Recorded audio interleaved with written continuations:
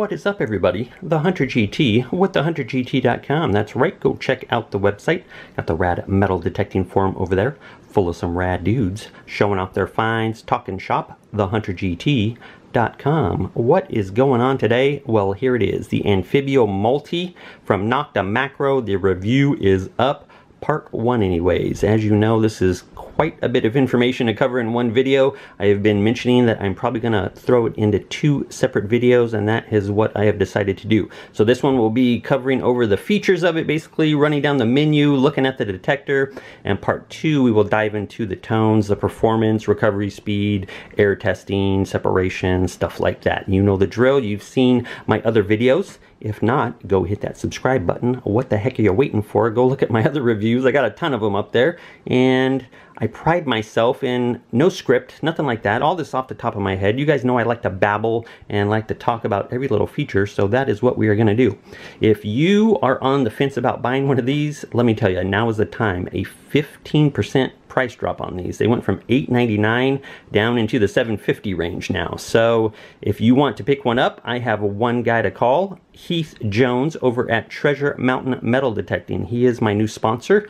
Um, yeah, pretty much a new sponsor, so to speak, Treasure Mountain Metal Detecting. So you must mention that you're subscribed to the Hunter GT and that the Hunter GT sent you.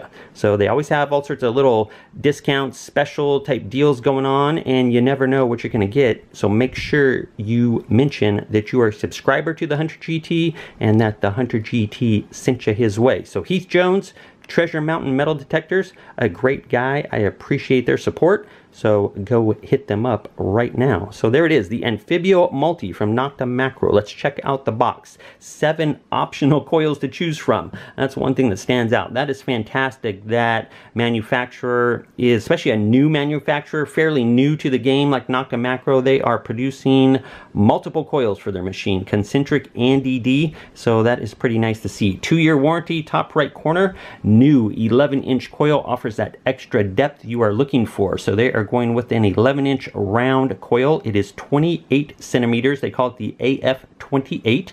New keypad backlight, new slidable armrest. So some neat features there. When depth, speed, and sturdiness matter, the way to go is the Anfibio. So they got a little rhyme there. They got a little paragraph right here. I'm not going to read all of that. Now they have three different Anfibios right here. You can see the Anfibio Multi on top, multi-purpose, 5, 14, and 20 kilohertz. That's what we're going over today. That is the model we have here. The Anfibio 14, which they're calling a coin hunter, and then the Anfibio 19, the Relic and Gold Hunter, 19 kilohertz right there. So this one covers a low frequency of 5, and then jumps up to that multi-purpose 14, and then the Relic and Gold Hunting at 19 kilohertz. IP68, waterproof up to 5 meters, 16.4 feet, and they have a row of cool features right here. Pay attention. Excellent discrimination and unmasking ability. Absolutely check on that one.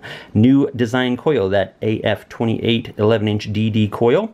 Advanced beach mode. Now in the beach mode, it will ground balance all the way to salt, with just the default pumping. Uh, the other modes will stop at 20. Um, with the beach mode, it will automatically go all the way to zero, so a pretty cool feature. A lot of detectors will only go down to like 20 or 40, and then you got to go into all metal mode or into a different mode. This one is no different. It will go down into 20. However, once you're in beach mode, just by cycling through, you can pump the coil and go all the way down to zero automatically with just a quick grab balance. So pretty neat. EUD, extra underground depth pretty neat feature right there. We will explain more of that in the next video. Fast recovery speed, absolutely check, especially in three-tone mode. I will go over that as well. It has blazing bonkers fast recovery speed in three-tone mode, 89 gain or lower.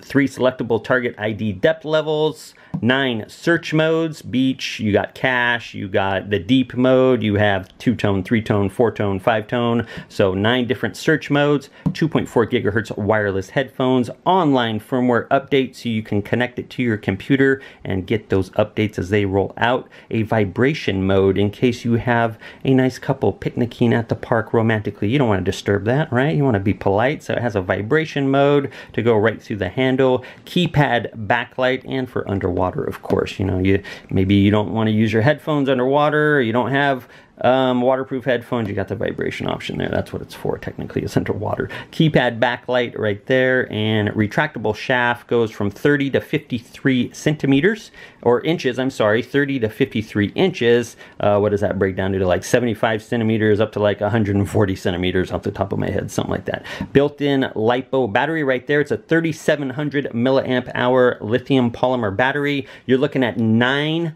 hours in 5 kilohertz mode and you're looking at 19 hours in the 14 and 20 kilohertz mode. So quite a bit of extra juice in the 14 and 20 kilohertz mode. If you're using that low 5 kilohertz mode for those deep silver coins, it really punches down deep in 5 kilohertz. You are going to be eating extra battery and you're looking about 9 hours in that frequency. All right? Without further ado, what do you say we rip open the box, throw it together, and take a look? All right, here's everything laid out and unboxed. Quite a bit of stuff wrapped inside of that box here. We got the literature here, the user manual. Make sure you read that about five or six times. We got some cards here, code of ethics, how to wash it off if you've been in the salt, um, manufacturer warranty card, 2.4 gigahertz instructions right there. So that is the literature.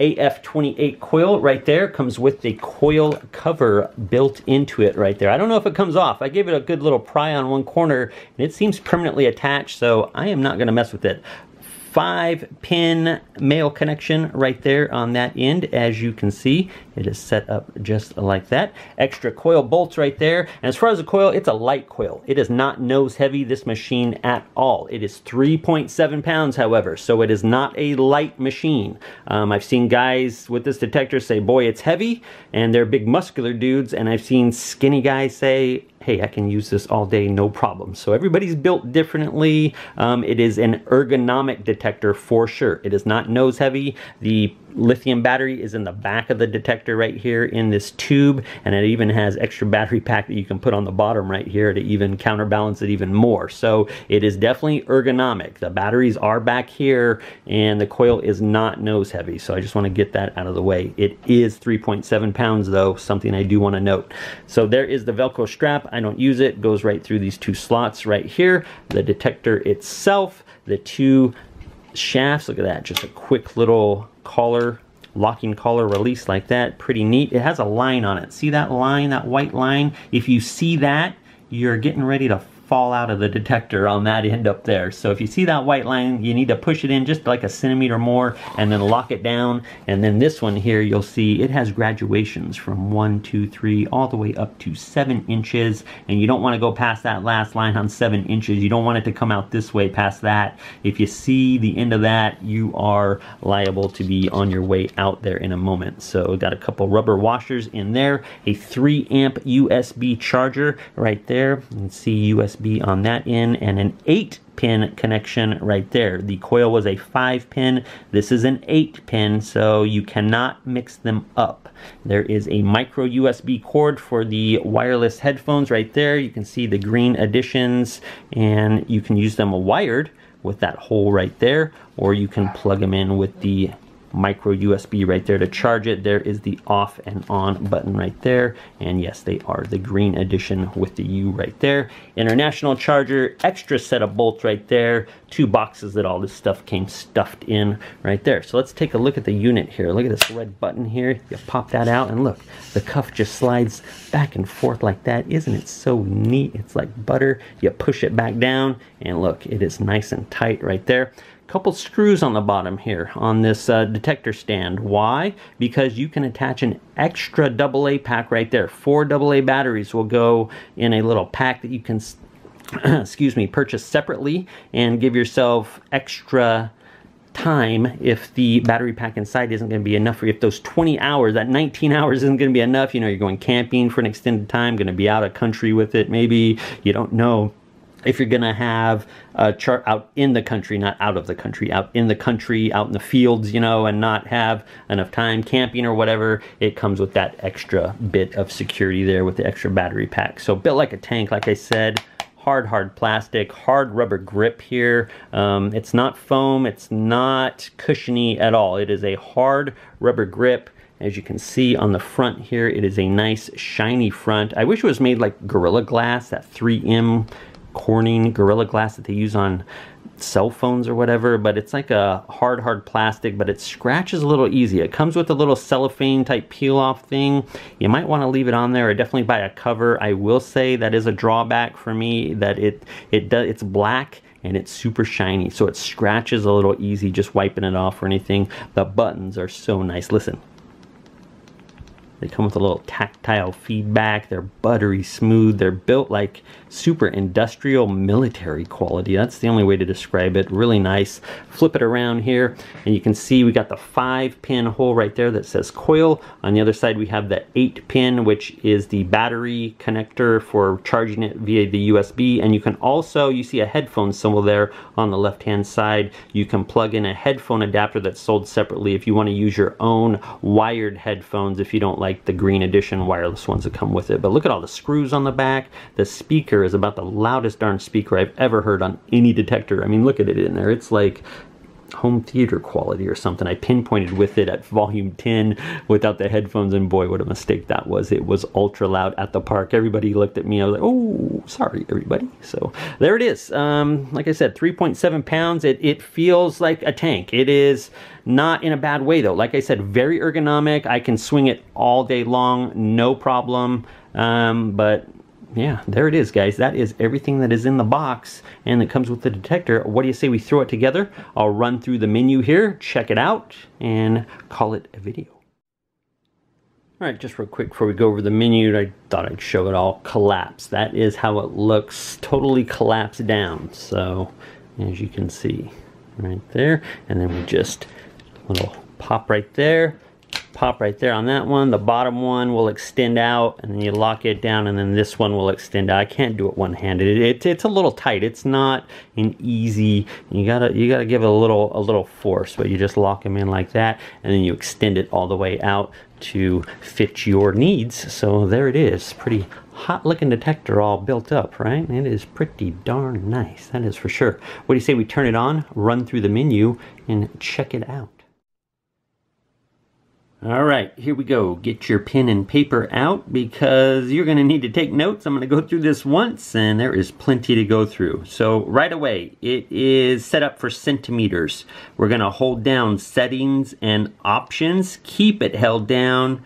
Now with our other finger, we're going to hold on on. And as it's booting up, keep holding down settings and options, keep holding down settings and options, and IN for inches. Now we are set up for inches on our pin pointer. To revert back to the metric system, just keep holding those two as you reboot it up again from off to on, and you will be all set to go, all right, for centimeters. So we are now set up for inches. So right away, let's go look over the display first. So we have three different rows, mode, settings, and options. We can control those. It's always gonna be set up with mode. See how I, I move it up and down in the mode? There all the way on the left, the box is moving. So it's always gonna default to mode. If I want to go into settings row there, the second row over, I hit settings, and now look, I'm going all the way up and down the settings row, and same thing, options, I click options, and I'm going all the way up and down the options row on the right there. So options button here on the right side for the right row, settings for the row right above it, and it defaults out in a minute. Watch options, See how it defaults back to the dual lines? Now I'm back over in mode. See how I'm going up and down my modes over there, okay? So that's basically it. Settings, you can click it, click it again to go out, options, click it, click it again to go out and you're back in mode. So those are your three main sections. Your target ID right in the middle along with your settings, your volume setting, your frequency. Watch target ID will disappear when I click there. Now I'm in my frequencies. I go down to volume. I can adjust my volume and it's going to show up right there in the middle as well. When it disappears it just says target ID. So along the top this is going to be your discrimination row up here each of these lines equals two IDs. So one, two, three, four. It's set to three disk automatically. Everything's gonna be disk three except for Gen Delta, which is zero disk. And then Beach will be disk of 15. So you can see that right there. There are seven lines or eight lines set up right there. And then Cache is gonna be disk zero. Everything else is disk three. So each of those lines is two discrimination values right there.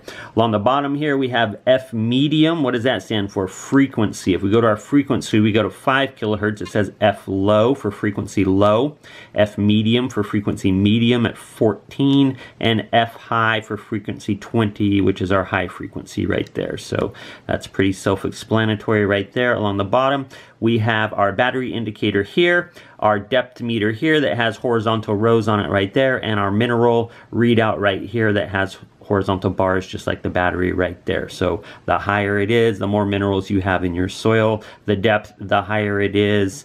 Um, if it's just one bar here that shows up, it's a deep target. If all the bars show up or one's missing, it's a shallower target right there. So that's pretty much the display. Ground balance right here in the bottom right. And then this box will be your warning like pump coil when you're ground balancing or check cable connection or low battery or, or something like that will show up in your little warning box right there. So that's pretty much it. Now, another key combination here, the plus and minus, you have up, down, minus and plus here in the middle. So hold down plus and minus and what happens? Standard, SD for standard. Now I'm in standard ID mode now, which means 5 kilohertz, 14, and 20. They're going to give you separate IDs on say a dime or a penny. Each frequency will have its own ID scale. Now if I hold them down again, I get NO for normalized, meaning a penny will ring up the same ID no matter if I'm in 5, 14, or 20. So you have standard, SD, hold it down again, and you have normalized. That's the plus and minus. So I usually run it in normalized. I like the same ID across all three frequencies. Uh, I use, you know, different brands and I'm it gets confusing sometimes. So the, the, less amount of IDs I have to remember, the better. So that's pretty much that. Let's go ahead and roll down the mode. So what do we got here? We got Gen Delta, which is a all metal mode. You can hear the threshold here. Now notice I can adjust gain. I can adjust disc or notch, my notch volume, tone break. It goes right down to tone break and threshold and ISAT, right? So there's some options depending on what mode you're in certain settings will be available for you over here. Now, these settings, um, they are going to be independent for each mode. So I can go through and set my gain, my disc, my notch, my notch volume for tone for two tone. They're gonna be all different when I switch down to three tone, like right here. I can go adjust my gain, my disc, my notch, all totally separately between each mode. So it makes it real cool to just thumb back and forth. You can have one mode set up one way,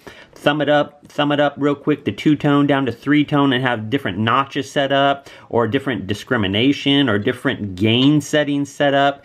And it's real neat that you can check a target real quick that way. Um, so all this whole settings row is independent for each of your modes, okay? So I can't stress that enough. So in Gen Delta, it's basically all metal. You can hear the threshold. We can, uh, now a tone break, it has a tone break because everything at 15 or under is gonna be like a grunt. You're gonna get this grunt.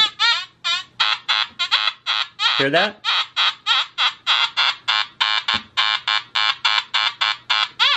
And if I go higher, above 15, we're getting that zip, that all metal zip that we're used to. So it's an interesting all metal mode, this Gen Delta. It will definitely discriminate ferrous to non-ferrous. So, and then we can go, so we can adjust that tone break wherever. Say we want that grunt to happen way high up by pennies or whatever. Well, then we can go way up here, 70 range, and now it's gonna grunt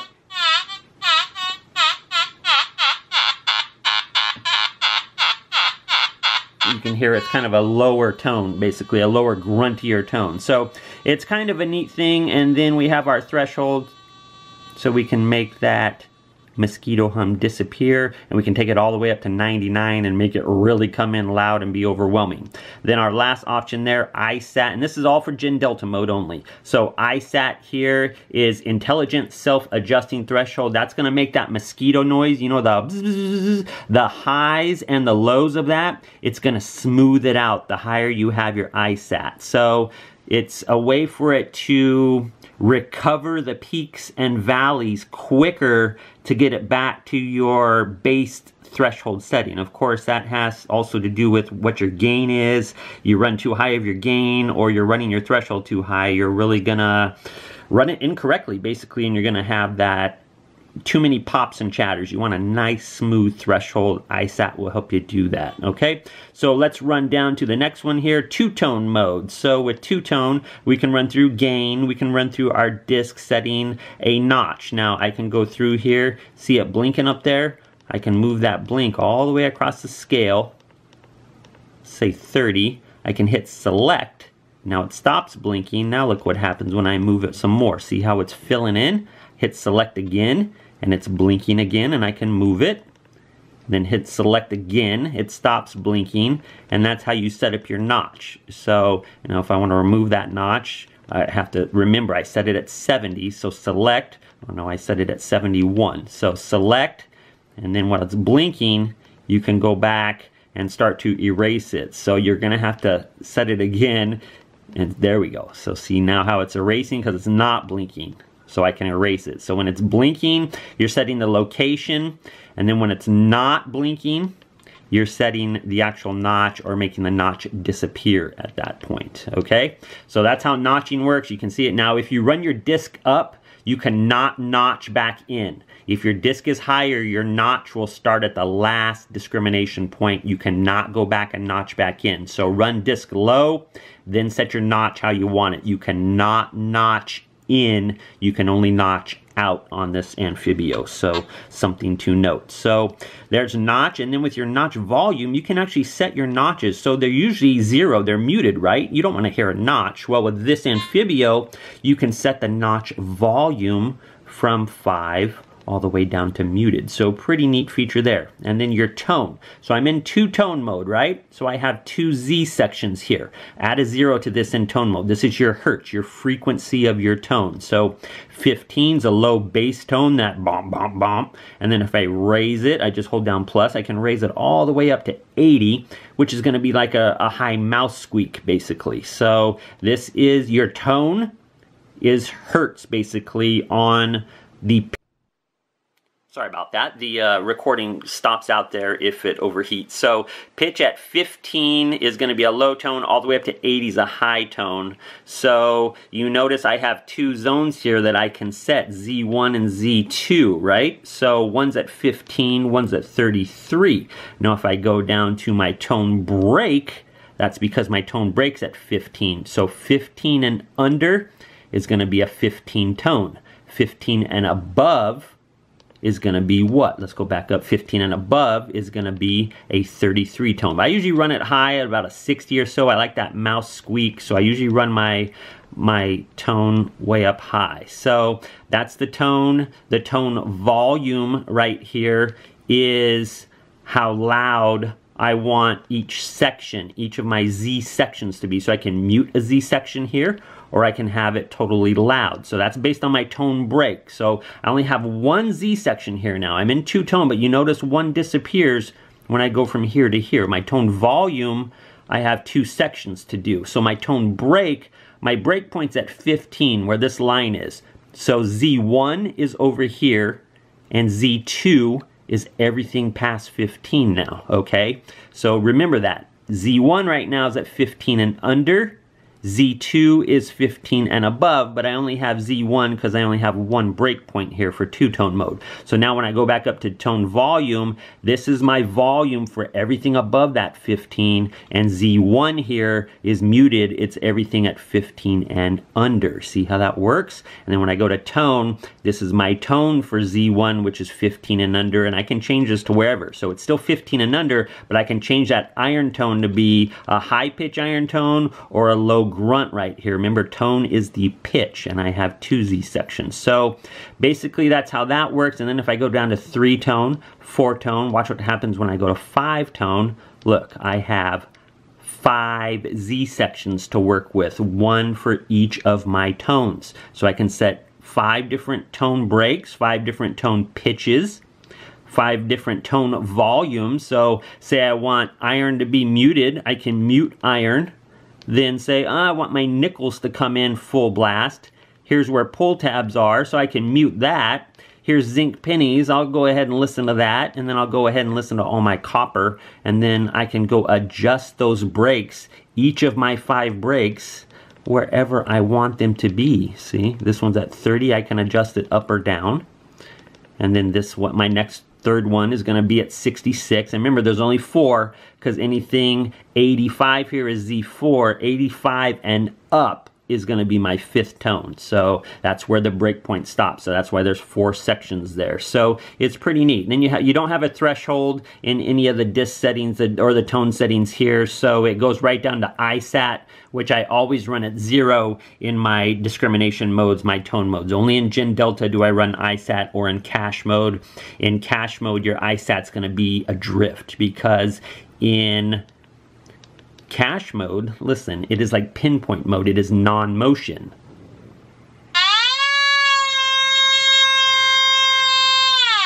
So see, in cache mode, it is non-motion. It's like you're holding down the pinpoint button, basically. So then we have deep mode here, which is the deepest by far. We can set everything up there. Deep mode, it has two Z sections here for you.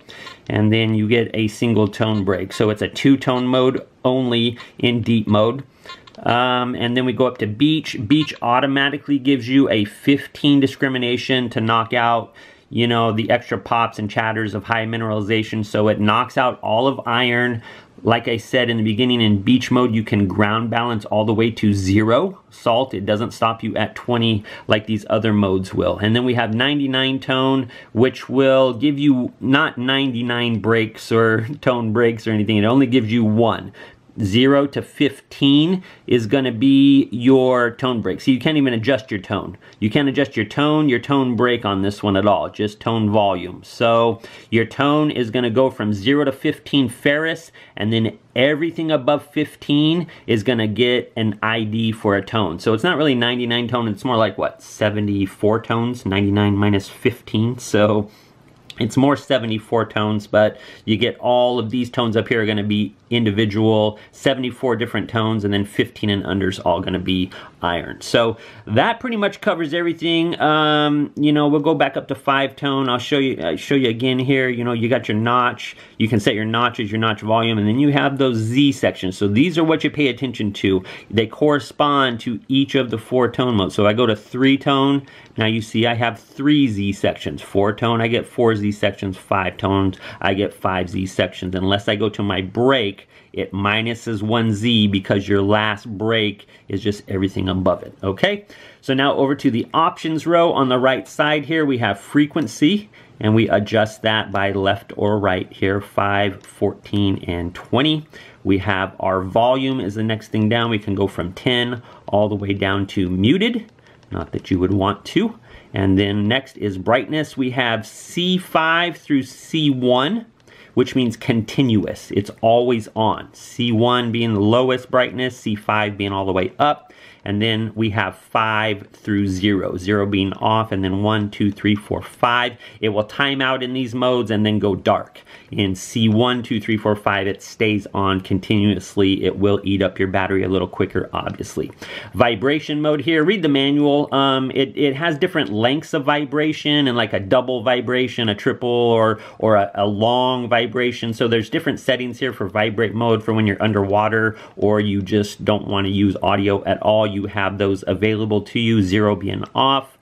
Depth, intermediate, high, and low. This will give you depth ID readings for those three different ranges. If you only want to read low, shallow targets, put it on low. You want to read intermediate and low, put it on intermediate. I'd leave it on high because I do want to see an ID on those deep targets if possible. So tracking right there, this detector does have auto ground balance tracking, something I would only use in Gen Delta um, I wouldn't really use it in disc mode at all. So read the manual on that. Boy, my hand's shaking. I'm squeezing my camera too hard. Frequency shift. You have five different frequency shifts to cycle through if you're picking up interference. That is not the same as frequency change from 1540 to 20. This is just a little shift. So it would send you from like 5 to 5.1, 5.2, or 14 to 14.1, 14.2. They're just little minor shifts in case you're picking up interference from another Anfibio running the same frequency or a, a pinpointer or interference from local EMI or whatever. You got that frequency shift. Save an FD. I go left here FD for factory default. I hit select, it's gonna run through it and factory default it. I click over here to SA, and this is just the right and or plus and minus buttons here. It's gonna default right there at, at the two lines. I go left or minus for FD. I go right or positive for SA. SA means save your settings. You just hit select. It's gonna save all the settings that you just changed and, and did over here. Watch what happens. Let, us just go ahead and hit it for you. I'll show you what happens. Um, so save, hit select, see the bar go across the top. It'll do that here for about 10, 15 seconds. And when it stops, you're all saved. Same thing with factory default. If you go over to the FD and do that, same thing. It does the bar a few times, about five, 10 seconds, and then it just, everything is reset like it's straight out of the box for you. Okay. And the last thing there is going to be wireless for your headphones, OF is off, and then you have 0 to 19. So 20 different frequencies you can run your headphones on if you're getting interference from somebody else running an Anfibio with the same green headphones as you. So there it is, guys. I think I ran through everything pretty successfully. Um, I'm sure I'm left something out. Leave comments down below. I leave my comments open. Um, I hope you enjoyed this part one. I definitely, I try to remember all this stuff off the top of my head. I've had this detector about two months, 100 hours in for sure. So I'm trying to just cut through this all off the top of my head. Um, I know it's a long video, pushing a half hour basically. Bear with it. Part two coming up. We'll really dive into this. We'll listen to the tones. We will do recovery speed, separation tests, um, some air testing. We'll run it through the workhorse paces, so to speak. So there it is. The whole menu, the Anfibio unboxing, part one complete. Hope you enjoy the video. I will see you for part two in about 48 hours, roughly, I figure. So there it is. I will see you on the next video.